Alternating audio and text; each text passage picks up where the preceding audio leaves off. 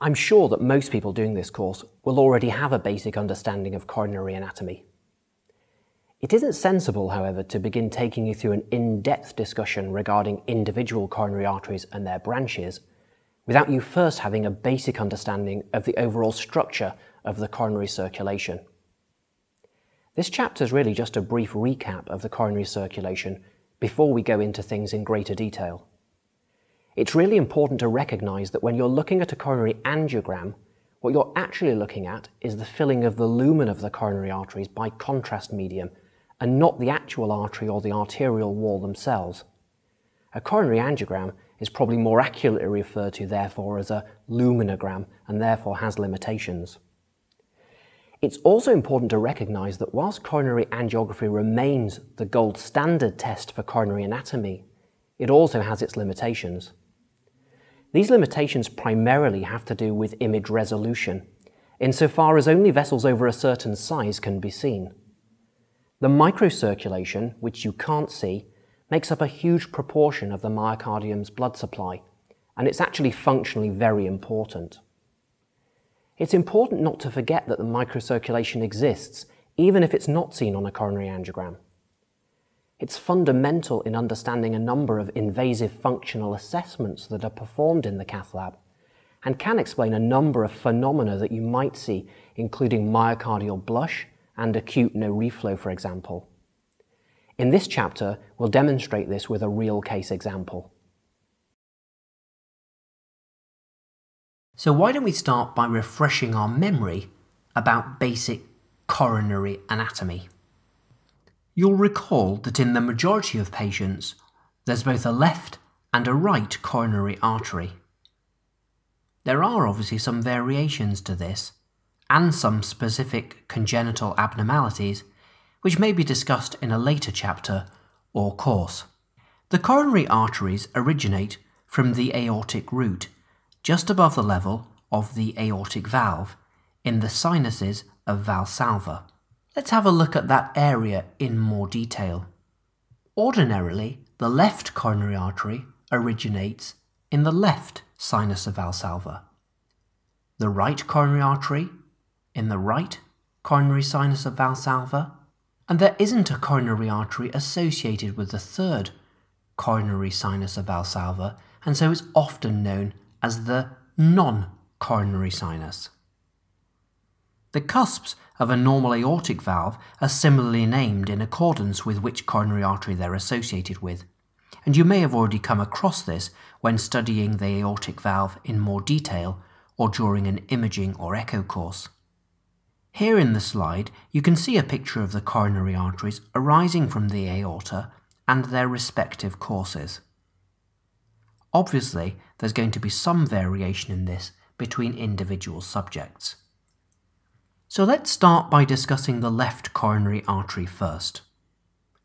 From the aorta, it originates as a vessel known as the left main stem. This divides, or bifurcates, to form the left anterior descending artery, or LAD. We sometimes refer to this as the left interventricular artery. It runs in the interventricular sulcus between the left and the right ventricles on the anterior surface of the heart. The circumflex artery, shown here, is the other branch off the left main stem. It goes around the heart in the atrioventricular groove. The right coronary artery is a separate vessel from the left coronary artery. It takes an entirely separate course, and it predominantly supplies the right ventricle and often the blood supply to the sinus and the atrioventricular or AV node.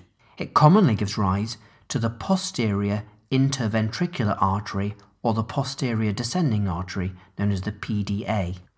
We'll talk about all of this in more detail when we review the coronary arteries in turn, so don't worry too much about it at this stage.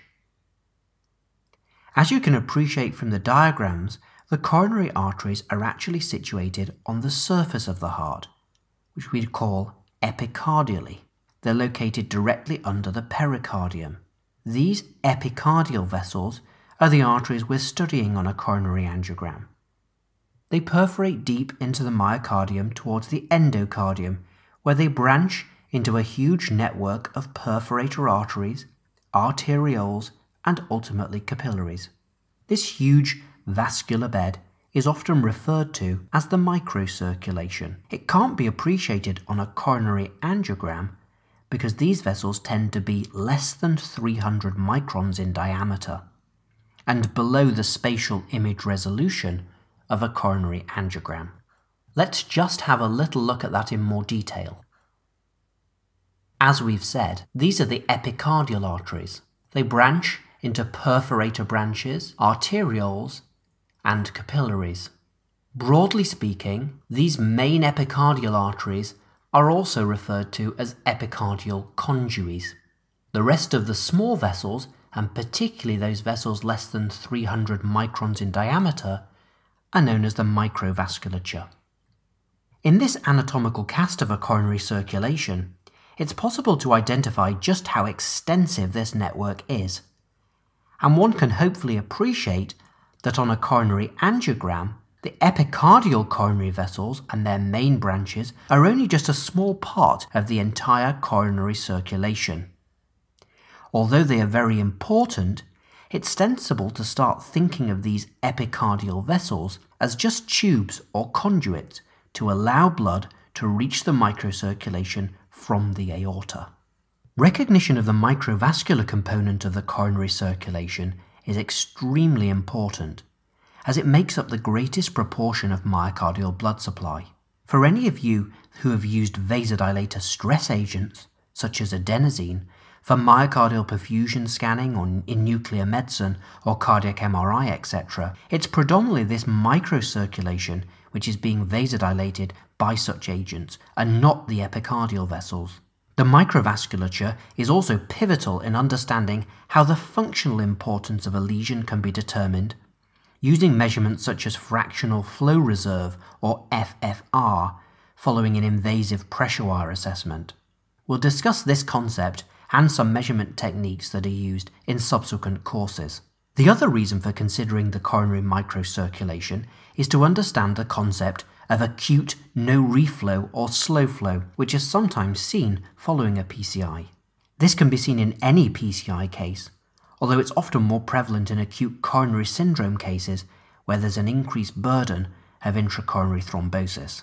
It's best to try and illustrate this concept with a real case, and we'll present this in the next lesson.